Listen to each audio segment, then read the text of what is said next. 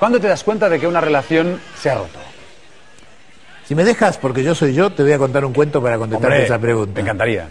Había una vez una princesa que quería elegir un, un novio que sea digno de ella, que la ame verdaderamente. Y entonces puso una condición.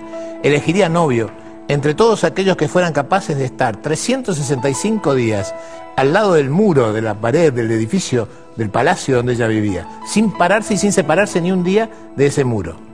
Y se presentaron algunos cientos o, centenares o miles de pretendientes a la corona real. Pero claro, al primer frío, la mitad se fue. Cuando empezaron los calores, se fue la mitad de la otra mitad. Cuando empezaron a gastarse los cojines y se terminó la comida, la mitad de la mitad de la mitad también se fue. Y finalmente habían empezado el primero de enero. Finalmente cuando entró diciembre y otra vez empezaron los fríos, había quedado solamente un joven. Todos los demás se habían ido, cansados, aburridos, pensando que ningún amor valía la pena.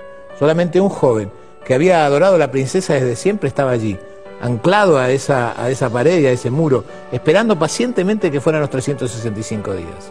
La princesa, que había despreciado a todos, cuando vio que este muchacho se quedaba y se quedaba, empezó a mirarlo con algunos ojos diciendo, este hombre quizás me quiera de verdad.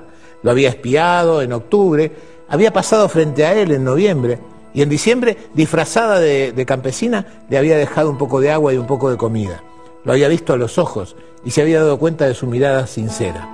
Y le había dicho al rey, papá, creo que finalmente vas a tener un casamiento, que finalmente vas a tener hijos. Este hombre es el hombre que de verdad me quiere. Y el rey se había puesto contento y había empezado a preparar todos los, todas las cosas para la boda. Y le había hecho saber por vía de la guardia al joven que el primero de enero, cuando se cumplieran los 365 días, lo esperaba en el palacio porque quería hablar con él. Todo estaba armado, el pueblo estaba contento, todo el mundo esperaba ansiosamente el primero de enero. El 31 de diciembre en la noche, después de haber pasado 364 noches allí, el, el 31 de diciembre, el joven se levantó del muro y se fue. No pudo quedarse a cumplir que había pasado, todo, había estado todo ese tiempo.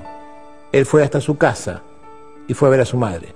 Y la madre le dijo, hijo, querías tanto a la princesa, estuviste allí 364 noches, 365 días y 364 noches, y el último día te fuiste, ¿qué pasó? No pudiste aguantar un día más. Y el hijo le dijo, ¿sabes qué, madre? Me enteré que me había visto, me enteré que me había elegido, me enteré que le había dicho a su padre que se iba a casar conmigo, y a pesar de eso, no fue capaz de evitarme una sola noche de dolor. Pudiendo hacerlo, no pudo evitarme una sola noche de sufrimiento. Alguien que no es capaz de evitarte una noche de sufrimiento no merece de mi amor, ¿verdad, mamá? Cuando, cuando tú estás en una, cuando tú estás en una relación y te das cuenta que pudiendo evitarte una migaja de sufrimiento, el otro no lo hace, es porque todo se ha terminado. Jorge Bucay.